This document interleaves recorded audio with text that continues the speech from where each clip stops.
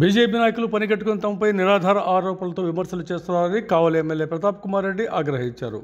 శనివారం కావలి ఏరియా విదేశాల్లో తనిఖీల అనంతరం ఆయన మీడియాతో మాట్లాడుతూ కావలి నియోజకవర్గంలో ఏదో అవినీతి జరిగిపోతుందంటూ ఇటీవల బీజేపీ నాయకులు గవర్నర్ కలిసి ఫిర్యాదు చేసిన నేపథ్యంలో వారి వ్యాఖ్యలను ఆరోపణలు ఎమ్మెల్యే ఖండించారు. ఆ పార్టీ జిల్లా అధ్యక్షుడిగా భరత్ కుమార్ని ఎవరు ఎందుకు నియమించారో కానీ అతని వల్ల ఆ పార్టీకి డ్యామేజీ తప్ప ఇమేజ్ లేదన్నారు. కావలి ప్రాంతాల్లో భూముల ధరలు ఎంత పెరిగాయో అందరికీ తెలుసని భరత్ చెప్పినట్లుగా తక్కువ ధరకు భూములు లభించే పక్షంలో ఆయన చెప్పిన ధరకు కొనేందుకు చాలామంది సిద్ధంగా ఉన్నారని ఆయన అమ్మేందుకు సిద్ధంగా ఉండాలని సవాల్ విసిరారు. మాట్లాడాడు ఎవడు మొన్న గవర్నర్ కాడ పోయావు కా మన కావలి విషయమై గవర్నర్ కాడికి పోయావు ఏది?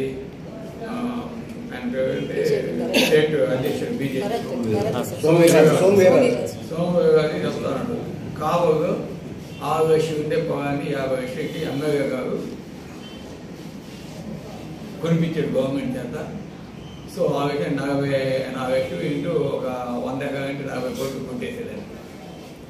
అది చెప్పేదానికి బుద్ధంగా ఉండవు వాడికి. ఆ విషయం అసలు కావలు పోగాడనందా అసలు కోటి రూపాయలు దగ్గర అక్కడ? మీ దగ్గర? ఇప్పుడు మీడియా సోదరు మీరు తెలుసా తెలీదా ఆ విధంగా అబద్ధాలు చెప్తే ఎంత మాత్రం కరెక్ట్ వాళ్ళకంటే బీజేపీకి తెలుసో తెలియక ఒక పని అని పెట్టుకున్నారు. అధ్యక్షుడు జగ అధ్యక్షుడిగా. కావదు వాడు రియల్ ఎస్టేట్ వేస్తూ ఉంటారు ఆ భగత్ రియల్ ఎస్టేట్ చేస్తూ ఉంటాడు.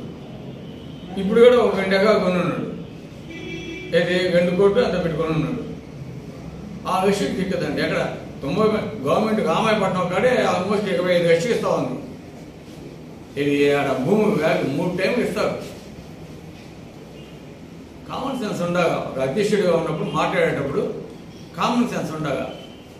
కామన్ సెన్స్ ఉంటే గౌరవం అనేది ఉండదు. అతను ఇక్కడ మాట్లాడితే. లేకుంటే ఇట్టాగా ఉంటాయి వాట్స్ మా ఇక్కడ.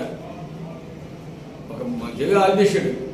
కొద్ది కామన్ సెన్స్ పెట్టుకొని మాట్లాడాలా మాట్లాడి ఆ ల్యాండ్ కూడా ఎవరే కాదు ఇక సొంతం ఒక తాతకి ఇచ్చింది ఒక తాతి ఒక తాతి ఒక వంశ వస్తే వాళ్ళకి యాభై వేలు ఇచ్చింది ఈరోజు ఏమో ఇంకా ఉంది ల్యాండ్ యాభై వేలు ఆయన ఇస్తాడు అడుగున్నాను కోటి రూపాయలు పైన చెప్పి కానీ ఆయన ఏమని చెప్పు ఆయన ఏమని చెప్పు యాభై కోటి రూపాయలు డెబ్బై లక్షలు కోటి రూపాయలు ఇస్తాం నేను ఏమని చెప్పండి